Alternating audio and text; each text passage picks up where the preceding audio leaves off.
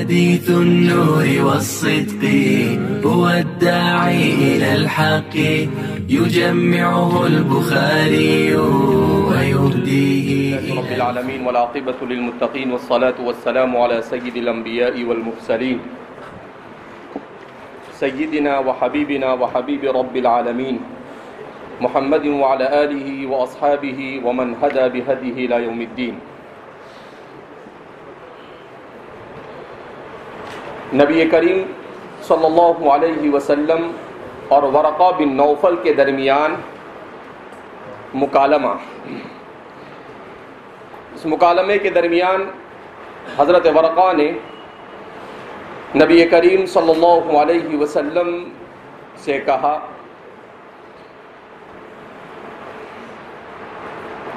कि आपको आपकी कौम निकाल देगी। ईद का कौमू का कि काश के मैं ज़िंदा रहूँ, जब आपकी कौम आपको निकाल निकालेगी।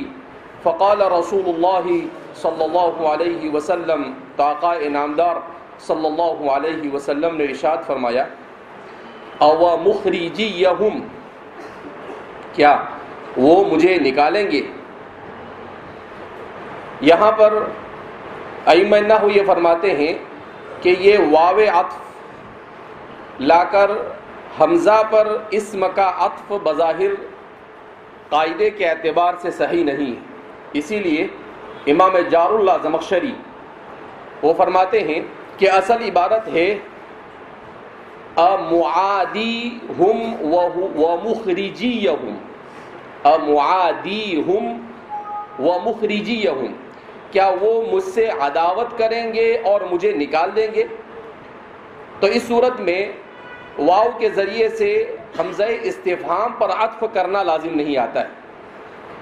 और आमतौर पर लोगों ने इमाम जारुल्ला जमशरी की सराय को पसंद भी किया है कि बात आपने बिल्कुल सही फरमाई है। तो आप सल्लल्लाहु अलैहि वसल्लम ने इस्तेजाब किया, आपको हैरत हुई कि क्या ऐसा होगा? कौल नाम। तो वरक़ा बिन नौफल, ये कौन पीछे से बातें कर रहा है? सबक शुरू होने के बाद भी बातें करते रहते हैं।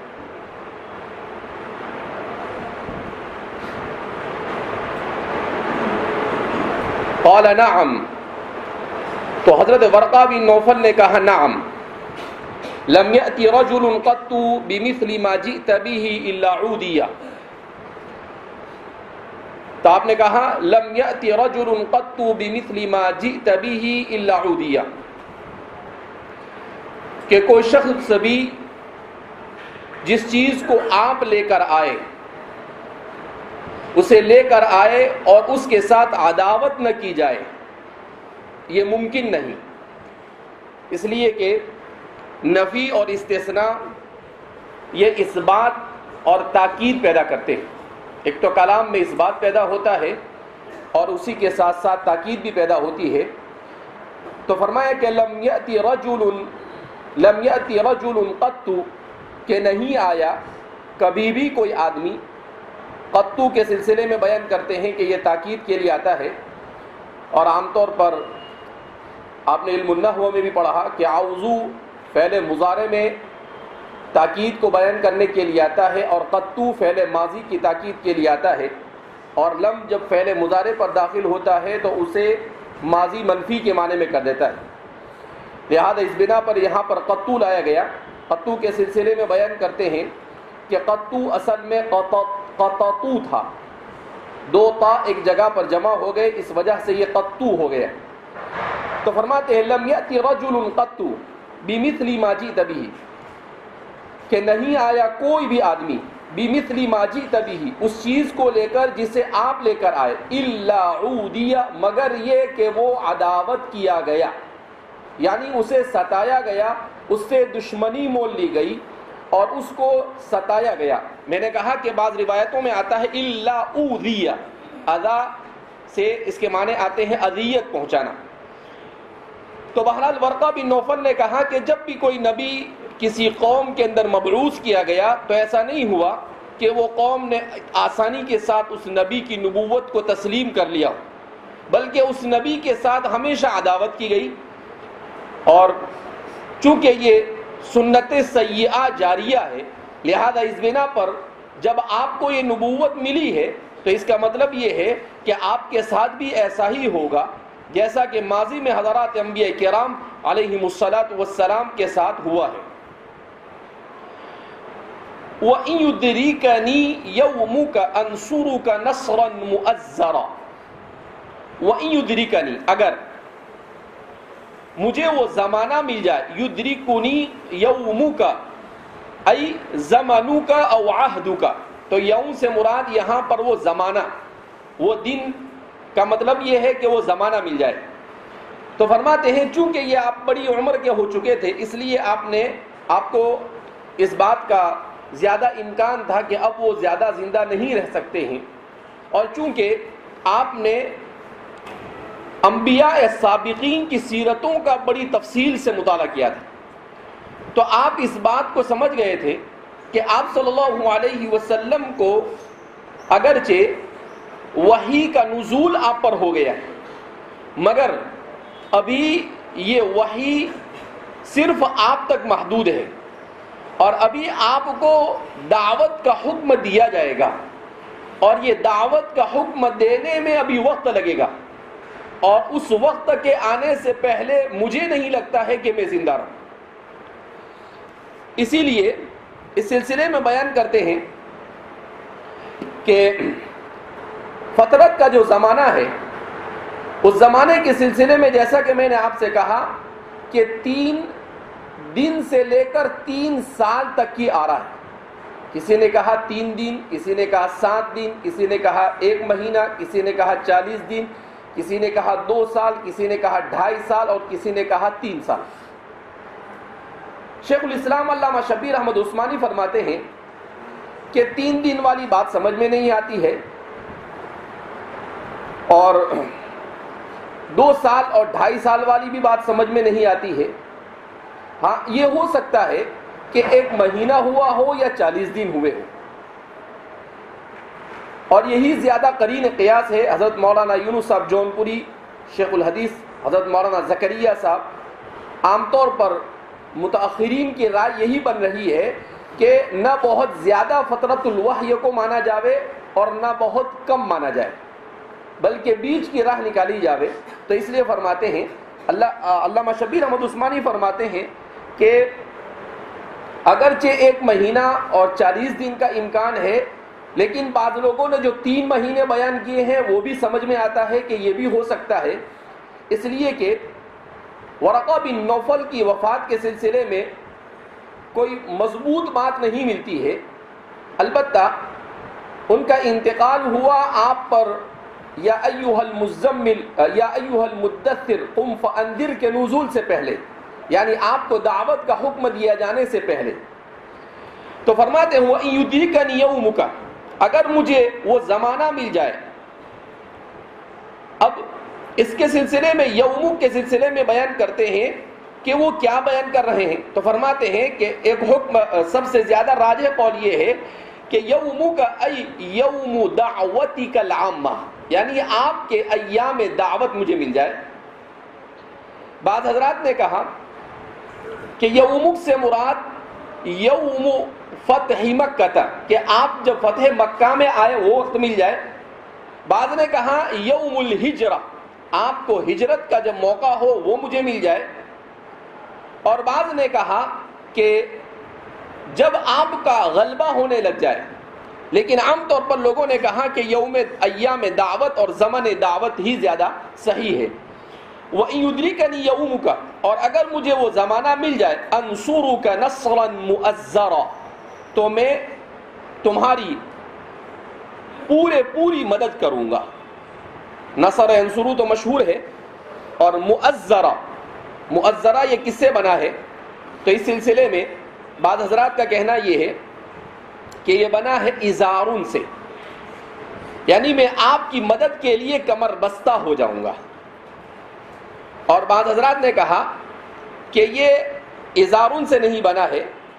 इमाम इसमाई का जो लगत के सबसे बड़े और सबसे अव्वलीन इमाम माने जाते हैं, जिन्होंने लगात को जमा करने में सबसे बड़ा और अहम रोल अदा किया है, वो फरमाते हैं कि ये उस जुरुन और इस जुरून से बना है। और इसके माने आते हैं ताकत और कुवत के। और ये ताकीद के लिए, नस्र की ताकीद के लिए यहाँ पर बतौर सिफत के लाया गया है। तो अगर इनकी बात मानते हैं तो इसका माना होगा इमाम इस्माई की जिसको राजा करार दिया गया अंसुरु का नसरन मुअज्जरा कि मैं आपकी जोरदार मदद करूँगा, कवियन बलीगन। ऐसा तर्जमा करते हैं अरबी जबान में। और अगर दूसरे कौल को मानते हैं तो इससे माना होगा अंसुरु का नसरन मुअज्जरा तो मैं आपकी मदद के लिए कमर बस्ता हो जाऊँगा। तो मैं आपकी कमर के लिए अगर इजारुन से मानते हैं तो इसका तर्जमा करेंगे तो मैं आपकी कमर आपकी मदद के लिए कमर बस्ता हो जाऊंगा इसका भी अगर ये भी माना कर दिया जावे तो कोई बईद इम्कान नहीं है तो फरमाते अंसुरु का नसरन मुअज्जरा मैं आप आपकी जोरदार मदद करूंगा या मैं आपकी मदद के लिए कमर बस्ता हो जाऊंगा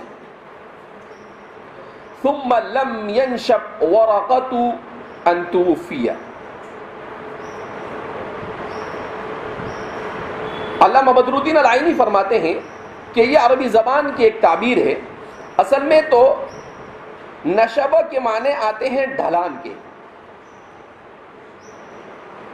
और इसी से बुढ़ापे को भी ताबीर किया जाता है। तो लम्यन शब का अगर तर्जमा करने जावे तो वो अभी बूढ़े नहीं हुए। तो कहा ऐसा तर्जमा नहीं होता है? अल्लामा शबीर अहमद उस्मानी फरमाते हैं कि लम्यन शब वरकतु, यानी वरका ज़्यादा ज़िंदा नहीं रह सके, ज़्यादा जमाना नहीं पा सके। लम यतुल उम्रहु। बदरुद्दीन आइनी फरमाते हैं, इसका मतलब ये होता है। तो फरमाते हैं, लम यनशब वरकतु। वरका, ये ज़्यादा अरसा नहीं, ज़िंदा रह सके। और इंतकाल कर गए। जैसा कि मैंने आपसे कहा इससे कबल अभी, के बाद हजरात ने कहा कि इनका इंतकाल शाम से आते हुए हुआ। लेकिन दूसरा कौन ही ज़्यादा राजे है कि आप मक्के मुकर्रमा ही में थे और आप सल्लल्लाहु अलैहि वसल्लम पर वह ये अव्वल के नजूल के कुछ ही दिनों में। बाज ने कहा, एक हफ़्ते में। बाज ने कहा, उससे भी कम दिनों में आप इस दुनिया से रहलत फरमा गए। तो फरमाते हैं, तुम मलम अंतुफिया कि वरका ज़्यादा ज़िंदा नहीं रह सके और वफात पा गए। वफतर वहयू। और वही ये रुक गई। फतरा यफ्तुरु फतरन। इसके अरबी जबान में असल माने आते हैं, सुस्त पड़ जाना। इसका इस्तेमाल आमतौर पर वही के रुकने के माने में होता है। फतरतुल वही कहा जाता है। वो जमाना जो एक वही से दूसरी वही के दरमियान हो। तो फतरतुल वही का जमाना क्या फरमाते हैं? कि आप सल्लल्लाहु अलैहि वसल्लम फतरतुल वही से गुजर रहे थे और इनका इंतकाल हो गया। अब सवाल पैदा होता है कि आप सल्लल्लाहु अलैहि वसल्लम पर यह फतरतुल वही का अरसा कितना?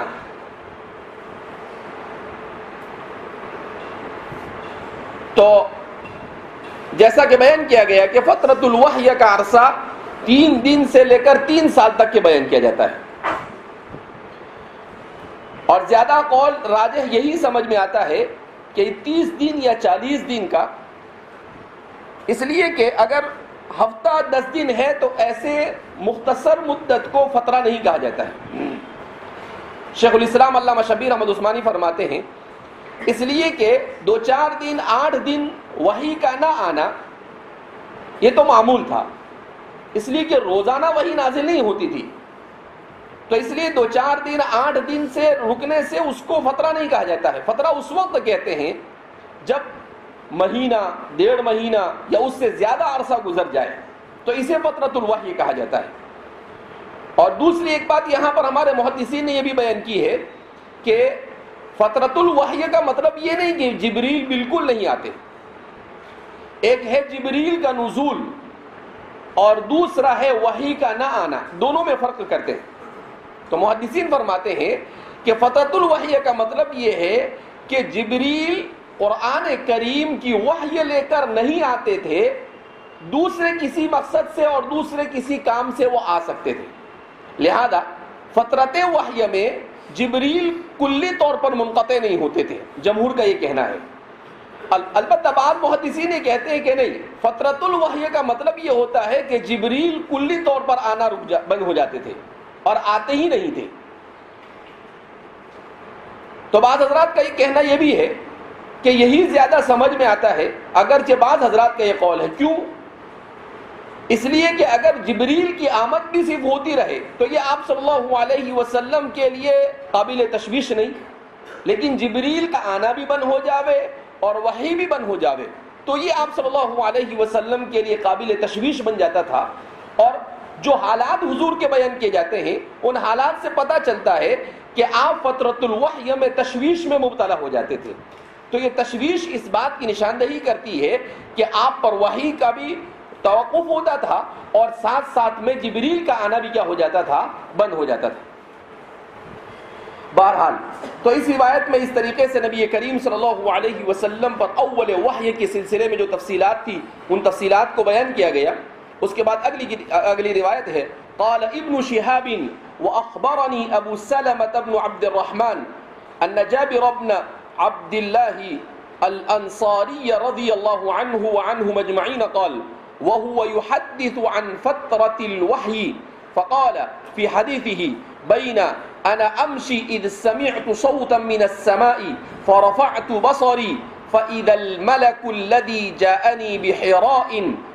और बाज ने कहा बिहरा यानी मुनसरिफ या गैर मुनसरिफ होने के सिलसिले में जालिसुन अला कुर्सी बैन समाई वल अर्दी फरुइबतु दोनों तरह से पढ़ा गया है फराबतु और फरुइबतु अलबत्ता मजहूल को ज्यादा राजे करार दिया है फरुइबतु मिनहु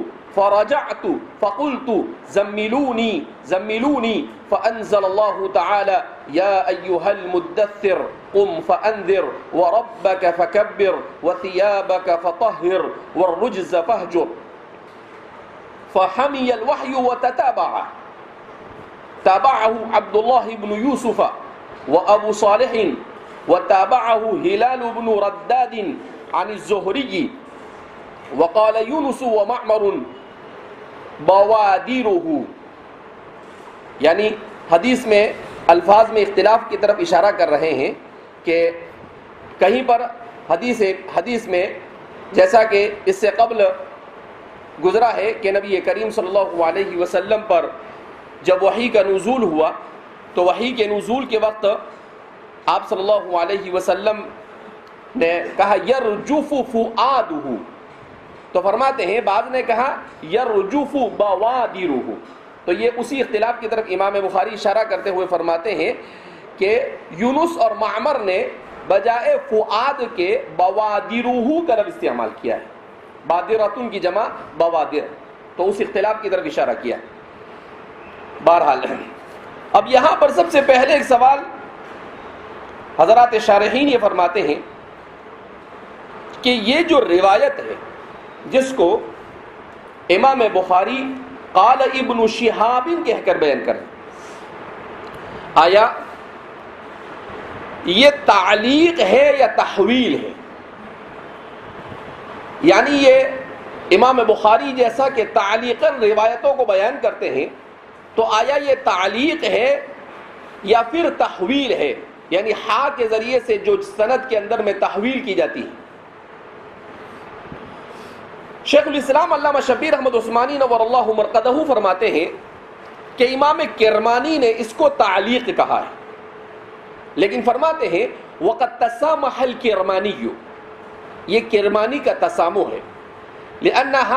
लईस तालीक। इसलिए कि यह तालीक नहीं, इन्नमा हुआ तहवील बल्कि ये क्या है? तहवील है।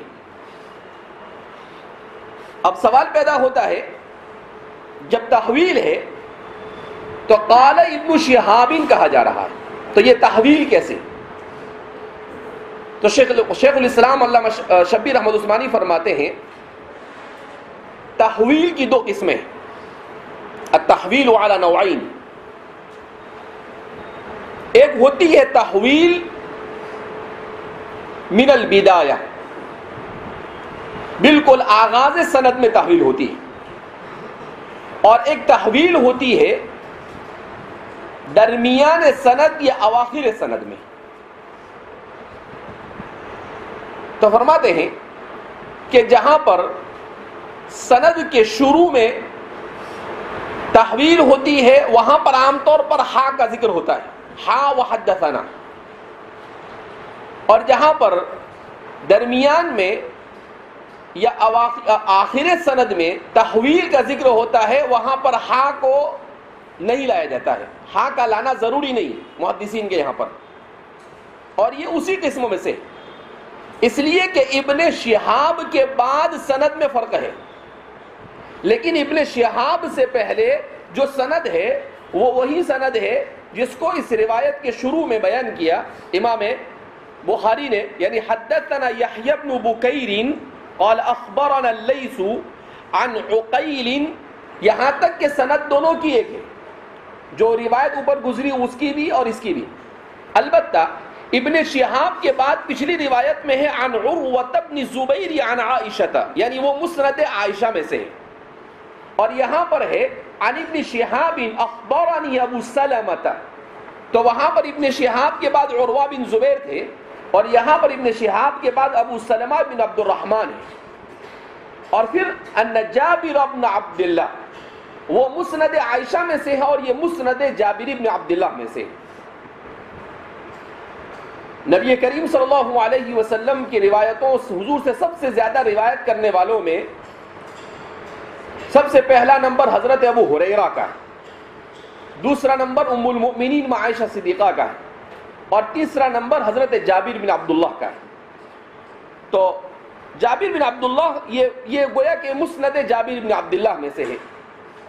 तो इस तरह से इसको तहवील कहा जाएगा, इसको तालीक नहीं कहा जाएगा। क्यों? इसलिए कि इमाम बुखारी जहाँ पर तालीकन रिवायत को नकल करते हैं, वहाँ पर सनद के इस फ़र्क का लिहाज नहीं रखते, बल्कि सीधा सहाबी से बयान कर देते और इस रिवायत को जो बयान कर रहे हैं तो इस रिवायत को इमाम बुखारी ने खुद अपनी किताब में नौ मरतबा इसकी तखरीज की शेखुल इस्लाम अल्लाह शबीर अहमद उस्मानी फरमाते हैं कि इस रिवायत की तखरीज इमाम बुखारी ने सबसे पहले किताब वही में की है, फिर उसके बाद बाबूबद खल्क में की है, फिर उसके बाद किताब तफसीर में इसको तकरीबन छः मरतबा आप इस रिवायत को लाए हैं और उसके बाद किताबुल अदब में भी आपने इस रिवायत को ज़िक्र किया है। इस तरह से नौ मकाम पर आपने इस रिवायत को तखरीज किया है। तो फरमाते हैं कि आपने किताब तफसीर में इस रिवायत को पूरी अपनी सनत के साथ बयान किया है और वहाँ पर ऐसे बयान किया है हदतना यहबन बुकैरिन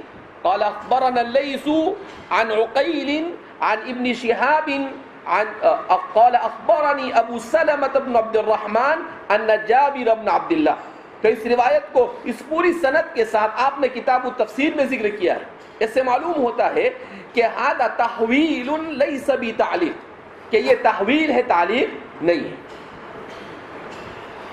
काल इब्न शिहाबिन इमाम इब्न शिहाब जोहरी फरमाते हैं, और इब्न शिहाब जोहरी के सिलसिले में तफसीर के साथ इससे पहले कलाम हो चुका है कि इबन जिहाब जोहरी, इनका नाम अबू बकर है, मोहम्मद बिन मुस्लिम बिन उबैदिल्लाह बिन अब्दुल्लाह बिन शिहाब जोहरी अलमदनी ताबी है, और मुदविनी मुदविनी ने हदीस में इनका शुमार होता है, और इनकी नस्बत इनके अपने दूर से अपने दादा की तरफ़, इनमें शहाब की तरफ़ की जाती है, जबकि आपका नाम मोहम्मद है, आपके वालिद का नाम मुस्लिम है, आपके दादा का नाम उबैदिल्ला है, और आपके परदादा का नाम अब्दुल्ला है, और फिर उसके बाद आपके दादा के दादा का नाम शिहाब है, और उसी से मशहूर हो गए।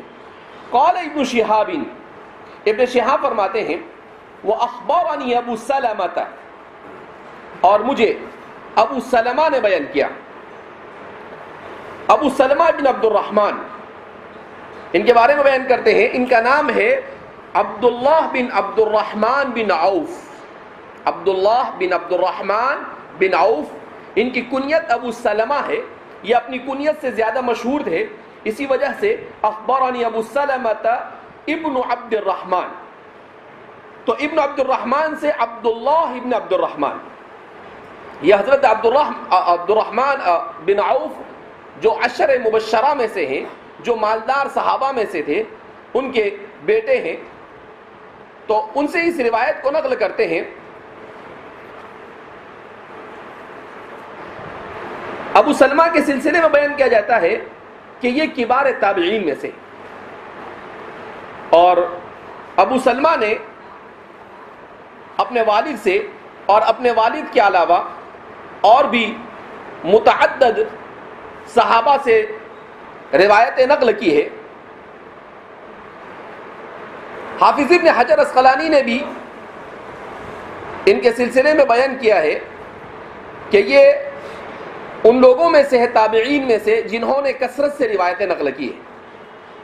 और हज़रत सहाबा के दौर आखिर में जिन लोगों की तरफ़ रुजू किया जाता था उन लोगों उनमें इनका शुमार होता है।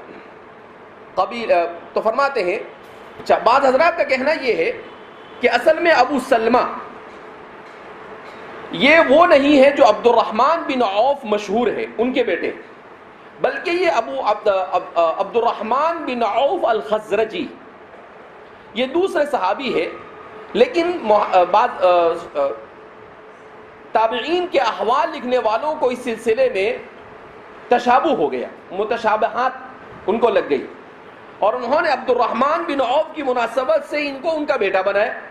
लेकिन फरमाते हैं कि ये खजरजी सहाबी है और ये हज़रत अब्दुलरहमान बिन औफ के अलावा दूसरे सहाबी है। इसीलिए आगे आता है, बहरहाल तो दोनों तरह से बातें बयान की जाती है। अखबर अबू सलमत अब्दुलरहमान अबू सलमा इबन अब्दुलरहमान जाबिर अबन अब्दुल्ला और वो बयान करते हैं, हज़रत जाबिर बिन अब्दुल्ला अल अंसारी रज़ी अल्लाह तु से, जैसा कि मैंने अभी बयान किया, ये कसीर रिवाया सहाबा में से हैं, जिन्होंने नबी करीम सल्लल्लाहु अलैहि वसल्लम से एक हज़ार से ज़्यादा रिवायतें नकल की।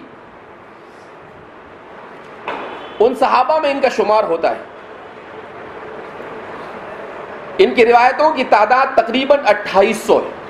2800 से जायद है। कौल वो वो युहद्दिसु फतरतिल वही।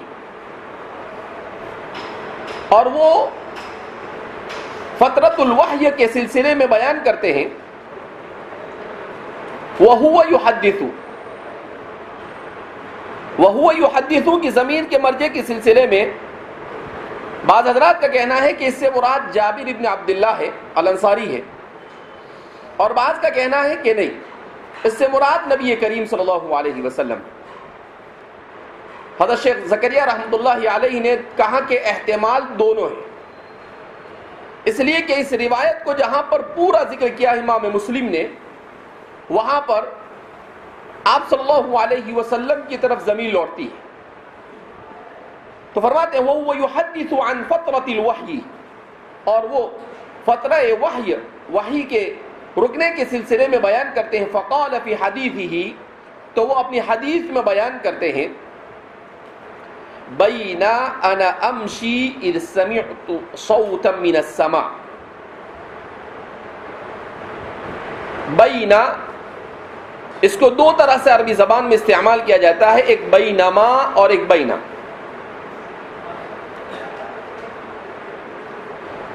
ये ज़रफ़ ज़मान के लिए आता है और हमेशा जुमले इसमिया पर दाखिल होता है। जुमले फ़ैलिया पर इसका दखूल नहीं होता है। इसके साथ अगर माँ आता है तो वो माँ माँ जायदा होता है। तो ये बीना है असल में। उसके बाद या तो अलिफ को लाया जाता है या माँ को लाया जाता है। कभी बीना आता है और कभी बीनमा आता है। दोनों तरीके से ये वारिद हुआ है। फरमाते बैनमा अना अमशी। इस दौरान कि मैं चल रहा था। आप सल्लल्लाहु अलैहि वसल्लम फरमाते समा। तो मैंने आसमान से एक आवाज़ सुनी। आप सल्लल्लाहु अलैहि वसल्लम वह ये अव्वल के बाद वह सानी के सिलसिले में बयान कर रहे हैं कि पहली वही के नाजिल होने के बाद जब आप अपने घर पर तशरीफ़ ले आए और फिर उसके बाद, कुछ दिनों के बाद, दस दिन बाद, या एक महीने बाद, या चालीस दिन के बाद, छह महीने बाद, जैसा कि मुतद बातें बयान की गई, आप वाक़े को बयान करते हैं तो समा कि मैंने एक आवाज़ सुनी आसमान से फरफातु बसरी. तो मैंने अपनी निगाहें उठाई। फ़ईदल मलकुल्लदी जाअनी बिहिरा हिरा इसके मुनसरिफ और गैर मुनसरिफ के सिलसिले में इख्तलाफ पाया जाता है। जो लोग ये कहते हैं कि अलीफ ममदूदा एक ही सबब, दो सबबों के कायम मकाम होता है, वो इसमें पाया जा रहा है। लिहाजा इस बिना पर यह क्या होगा? गैर मुनसरिफ और जो लोग ये कहते हैं कि अगरचे अलीफ ममदूदा पाया जा रहा है, मगर इसका जो वज़न है, वो अलीफ ममदूदा वाले जो कलेमात आते हैं, उस वज़न पर नहीं।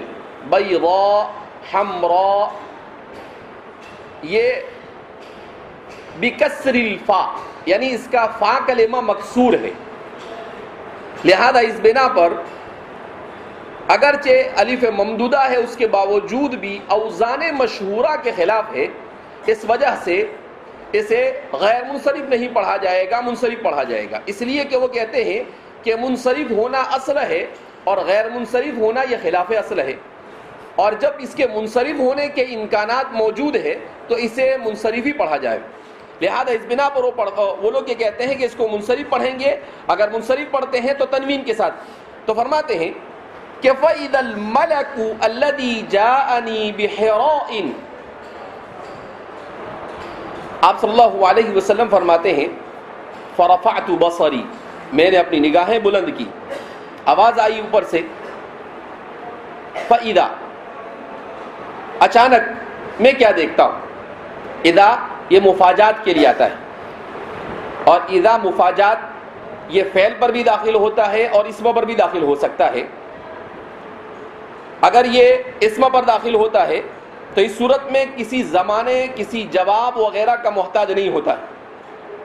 और अगर ये फ़ैल पर दाखिल होता है तो फ़ैल पर दाखिल होने की सूरत में अगर ये फ़ैल माजी पर दाखिल हो जाता है तो उसको मुस्तबिल के माने में कर देता है। और अगर फ़ैल मुजारे पर दाखिल होता है तो उसको हाल के माने में कर देता है।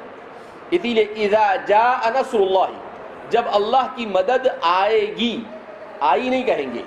इसलिए कि इदा दाखिल हुआ फ़ैल माजी पर, और फ़ैल माजी को उसने किसके माने में कर दिया? मुस्तबिल के माने में कर दिया। अगर ये फ़ैल मुजारे पर दाखिल हो जावे, चाहे ईद हो, चाहे इदा हो, दोनों की सूरत में एक ही बात बयान करते हैं। तो दोनों सूरत में ये फ़ैल मुजारे को किसके माने में कर देता है? हाल के माने में कर यानी उसका एक जो हाल और इस्तेकबाल दोनों माने हैं, उसमें से एक माना मुतन हो जाता है और वो हाल वाला माना। यहाँ पर यह इसम पर दाखिल हो रहा है। इसको मुफाजातिया कहा जाता है, यानी अचानक किसी वाक़े का हो जाना बतलाता है। फ़ईदल मलकू। जैसा कि इससे कबल बयान किया गया कि मलक, ये वाहिद है, इसकी जमा आती है मलाइका। यह अरबी ज़बान में लिखा एक तरह का जाता है, लेकिन मलक लाम के फतह के साथ जब इसको पढ़ा जावे तो ये फरिश्ते पर बोला जाता है असल में मलअकुन था, जैसा कि इससे पहले उसकी तहकीक गुजर चुकी है। और अगर इसको मलिकुन पढ़े तो ये बादशाह के लिए इस्तेमाल होता है। और अगर इसको मुल्कुन पढ़े तो ये मुल्क के लिए इस्तेमाल होता है। और अगर इसको मिलकुन पढ़े तो फिर इस सूरत में ये मिल्कियत के लिए इस्तेमाल होता है। तो ये एराब के बदलने से लाम और मीम की हरकत, यानी फ़ा कलेमा और आन कलेमे की हरकत के बदलने से इसका माना बदलता रहता है। फ़ैदल मलकुल्लदी जानी तो मैं अचानक क्या देखता हूँ? अलमलकुल्लदी जानी कि वही फरिश्ता। अल्लदी जानी बिहराइन जो मेरे पास गार हेरा में आया था। यानी हज़रत जबरील अलैहिस्सलाम जालिसन अला कुर्सी वो कुर्सी पर बैठा हुआ है। बैन समाई वल अर्दी, आसमान और ज़मीन के बीचों बीच। आसमान और ज़मीन के दरमियान। ये नबी करीम सल्लल्लाहु अलैहि वसल्लम पहली मर्तबा। सैदुना हज़रत जबरील वसलाम को फ़ी हयत असलिया, आपकी असल सूरत में देखते हैं। आप सल्लल्लाहु अलैहि वसल्लम मकाम अजियाद में आप सल्लल्लाहु अलैहि वसल्लम ने पहली मरतबा हज़रत जबरील वसलाम को देखा, उसी का आप तस्करा कर रहे हैं।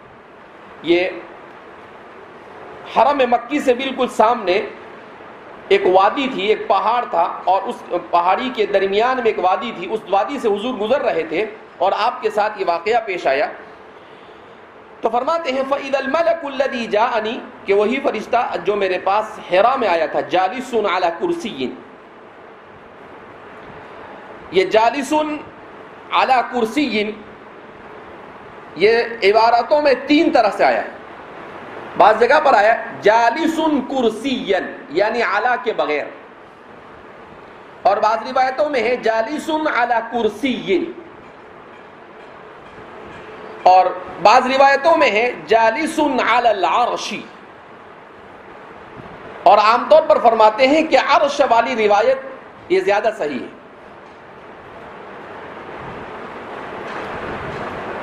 तो जालिसुन अला कुर्सीयन जलस बाज रिवायतों में आता है कौन आला कुर्सीन जलसा और कादा।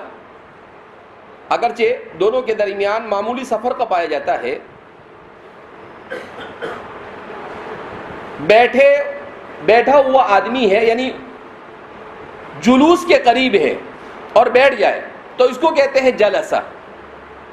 और खड़ा हुआ है, या कयाम के करीब है, और बैठे तो इसको कहते हैं कादा। इसीलिए, दो सजदों के दरमियान जो बैठना है, उसको क्या कहते हैं? जलसा। ये भी मालूम नहीं है। अरे दो जलसों के दो सजदों के दरमियान बैठते उसको क्या कहते हैं? जलसा कहते हैं। और दो रकात के दरमियान में बैठते हैं और अखीर में बैठते उसको कहते हैं? क्यों? इसलिए कि अभी तक के खड़े होकर अरकान को अदा कर रहा था, अब बैठ गया। तो खड़े होने के बाद बैठा, इसलिए उसको कायदा कहा गया। और जलसा जलसा उसको क्यों कहा? इसलिए कि सजदे में था तो जुलूस के करीब था, और वहीं के वहीं क्या हो गया वो? बैठ गया। तो इसलिए ये फ़र्क वहाँ पर इसीलिए क्या गया जलसा और कादा के दरमियान ये फ़र्क है। बहरहाल, कुरान और हदीस में और इस्लाम की असलाहत और मुहदसिन और फ़ुकहा की असलाहत में जहाँ भी ये थोड़ा सा कलेमात का फ़र्क होता है तो ज़रूर भी ज़रूर उसके पीछे कोई ना कोई फ़लसफ़ा होता है। कोई ना कोई फ़र्क ज़रूर पाया जाता है, बारीकी सही तो यहाँ दोनों तरह की चीज़ें हैं बहरहाल। जालिसुन आला कुर्सीन कुर्सीयुन। करसा के सिलसिले में बयान करते हैं, इसको कुर्सीयुन और किरसीयुन दोनों तरीके से पढ़ा गया। बिकसरी काफ और बिदम्मिल काफ। वल मशहूर बिदम्मिहा अलबत्ता मशहूर जम्मा के साथ। करसा ये किससे बना है? तो फरमाते हैं कि करसा ये बना है कुर्रासतुन से। करसा किससे बना है? कुर्रासतुन से। कुर्रासतुन के माने आते हैं कापी के। अरबी जबान में इसका असल इस्तेमाल होता है मुआजम उल्लुगा के अंदर में आता है करसर रजुलू इल्महू। करसर रजुलू, इसका मतलब क्या आता है? जमा इल्महू। कुर्रासतुन को भी कुर्रासतुन इसीलिए कहा जाता है, लिअन्नल कातिबा यजमउ इल्महु। इसलिए कि कातिब उसमें इल्म को क्या करता है? जमा करता है। अरबी आदमी लिखता है तो उसमें जमा ही होता है। इसी वजह से उसको कुर्रासतुन कहा जाता है, फ़ुआलतुन के वज़न पर मुबालगे का सेगा है कि पूरे पूरे तौर पर इल्म को जमा करने की क्या की जाती है? उसमें कोशिश की जाती है। अब उसी से ये बना है कुर्सीयुन। अब सवाल पैदा होता है कि दोनों में मुनासबत क्या? कुर्सीन ये तो आला जुलूस है। बैठने के लिए एक आला है। और इसके असल माने तो आते हैं जमुल इल्म के। तो फरमाते हैं कि असल में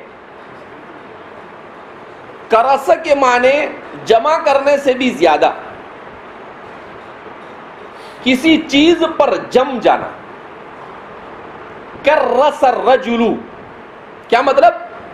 आदमी ने किसी चीज़ पर पूरे पूरा ज़ोर और ताकत और सलाहियत को सर्फ कर दिया। अपनी इस्तेदाद को सर्व कर दिया। तो फरमाते हैं कि जब आदमी बैठता है कुर्सी पर, एक मुनासबत लुगत और उसके माने उर्फी के दरमियान बयान की जाती है तो वो अपनी पूरी ताकत को उस पर लगा देता है और पूरे तौर पर क्या हो जाता है? बैठ जाता है फ्री हो जाता है आदमी। इस वजह से तो गोया के अपना पूरा वज़न वो उस पर खपा देता है, इस वजह से इसको कुर्सी कहा जाता है। और एक वजह यह भी हो सकती है कि असल में कुर्सी का जो इस्तेमाल है, वो तो दरअसल आयतुल कुर्सी में हुआ। अल्लाह के। तो अब अल्लाह रब्बुल इज़्ज़त के लिए उसका इस्तेमाल था असल में। कि जैसा कि बयान किया जाता है कि अर्श है। और ये अर्श के सामने सात और ज़मीन और आसमान अर्श कुर्सी पर है और उस कुर्सी के सामने सात और ज़मीन और आसमान एक गेंद की तरह है। रिवायत सहीहा में तो अल्लाह की कुर्सी के लिए असर उसका इस्तेमाल था कि कुर्सी वो है जो अल्लाह के अर्श और मखलूक के दरमियान एक किस्म का पर्दा एक किस्म का क्या है?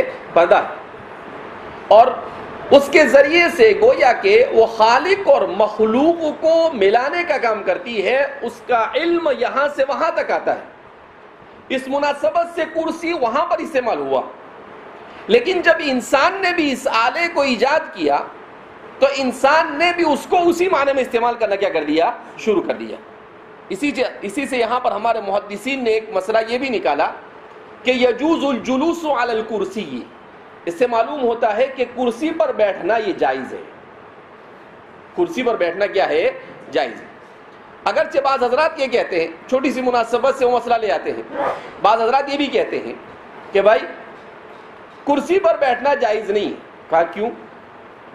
कहा इसलिए कि इससे नसारा के साथ मुशाबहत लाजिम होती तो कहा कि भाई नसारा के साथ मुशाबहत हर चीज़ में उसकी मुखालफत ज़रूरी नहीं। जिसका ताल्लुक तहजीब से हो, जिसका ताल्लुक इंसान के इबादत और उस जैसी चीज़ें से, उसमें मुशाबहत से रोका गया। लेकिन इस तरह की चीज़ में मुशाबहत से रोका गया नहीं। जैसे लिबास वगैरह, उसमें रोका जाएगा। क्यों? इसलिए कि इस्लाम ने उसके जो उसूल बयान किए, उस उसूल से हटकर अगर वो लोग पहनते हैं तो इन चीज़ों से रोका जाता है। इसी तरीके से रसूमात में रोका जाता है। लेकिन ये एक आदि चीज़ है जिसकी इंसान को ज़रूरत पड़ सकती है। लिहाजा इस बिना पर फरमाते हैं कि कुर्सी पर इसीलिए नूरुद्दीन अल खादमी ये हमारे आखिरी दौर के बड़े फ़कीर गुजरे हैं। इनके किताब है अलफ़िकमकासदी अलजतहादुलमकासदी उस किताब में इन्होंने एक अजीब मसला लिखा है। कहा कि हमारे ज़माने में बाज़ जिद्दत पसंदों को इजतिहाद का शौक लगा हुआ है। और उठे बैठे के जहाँ आए वहाँ पर अपना इजतिहाद बघारना क्या कर देते हैं? शुरू कर देते हैं। तो कहते हैं कि अमेरिका के अंदर में एक फिरका है। वो फिरका ये कहता है कि अब जुमा की नमाज़ बजाय जुमा के इतवार को होनी चाहिए। इसलिए कि उस जमाने में छुट्टी कब होती थी? जुमा को होती थी। और हमारे जमाने में छुट्टी कब होती है? इतवार को। लिहाजा इस बिना पर जुमा की नमाज़ कब पढ़ो? इतवार को पढ़ो। तो उन्होंने कहा कि बेवकूफ़ है। जुमा का छुट्टी से कोई ताल्लुक नहीं। जुमा एक अफजल अयाम है। लिहाजा उसको आप छुट्टी से जोड़ने का कोई मतलब नहीं हाँ। उस दिन एक अफजल इबादत करना है, आदमी चुस्त रहे और अपना ज़्यादा से ज़्यादा वक्त इबादत में खर्च करे, इसलिए मुसलमानों ने उसको यमुल उतला बनाया। इसी तरीके से वही फिरका ये भी कहता है कि पहले ज़माने में अदब का तरीका यह था कि खड़े होकर अदब करते थे। अब हमारे जमाने में अदब का तरीका यह है कि बैठकर अदब किया जाता है। लिहाजा नमाज़ कुर्सी पर बैठकर होनी चाहिए।